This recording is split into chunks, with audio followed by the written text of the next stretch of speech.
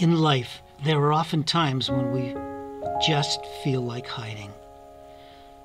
When somewhere along the way we have lost the simple joy of living.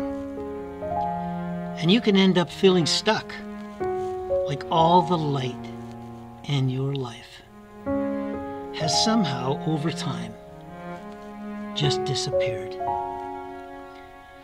But this isn't the time to walk away. This isn't the time to lose hope or to stop dreaming. No, this is the time, the best time in your life, to take the dominant creative role in envisioning a better future. The possibilities and potential that every new day brings can be inspirational.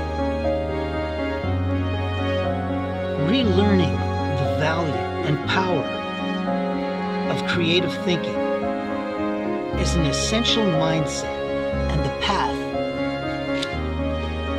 to a truly inspired and joyful life. You have a natural creative spirit that was an integral part of your nature when you were born, and as a young child, possibly your first mode of communication. The creative artistic life is an open door to the true and important expression of your feelings. And now, the artist child in you is waiting.